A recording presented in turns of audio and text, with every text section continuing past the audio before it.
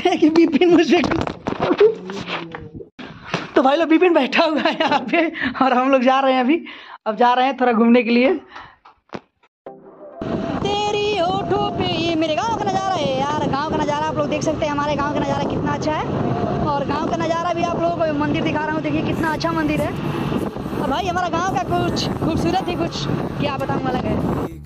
बाल तो पता नहीं खाने के लिए हुआ है कि नहीं हुआ है अभी। अभी मकई नहीं हुआ है। ये मेरा ही खेत है, अपना खेत में सोचे कि आए हैं तो थोड़ा घूम फिर ले। और ये मेरा कुत्ता मेरा डॉग मतलब हमेशा मेरे साथ रहता है। देखो, लग गया पीछे कहाँ हम जा रहे हैं घूमने फिरने के लिए।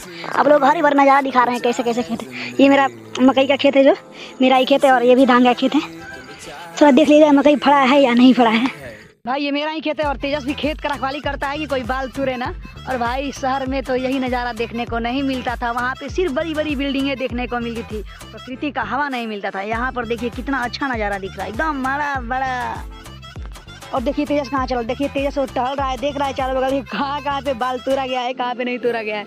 और थोड़ा खेत मतलब ज़्यादा घना नहीं है, पता नहीं क्यों अच्छा से जाम नहीं पाया है। खाने के लिए भुट्टा खाने के लिए तो मिल ही जाएगा, आ गए हैं तो। देखते हैं। कौन सा हुआ है, कौन सा नहीं हुआ है।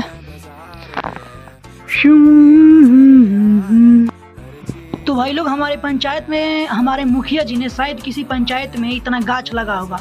हमारे पंचायत में कम से कम पचास हज़ार पेड़ लग चुके हैं। ऐसा किसी पंचायत में चांस नहीं हो सकता लगने का। मतलब हमारे पंचायत में हमारे जो मुखिया थे, हमारे गाँव के ही, बहुत अच्छे काम किए हैं इतना पेड़ लगाकर। तो देखिए हमारे भैया जी ये भी आज मतलब दिल्ली से आते आते मकई के खेत में अपने भाई लोग हम लोग प्रकृति से जुड़े हुए इंसान हैं और भाई इस मिट्टी से बहुत ज़्यादा प्यार करते हैं।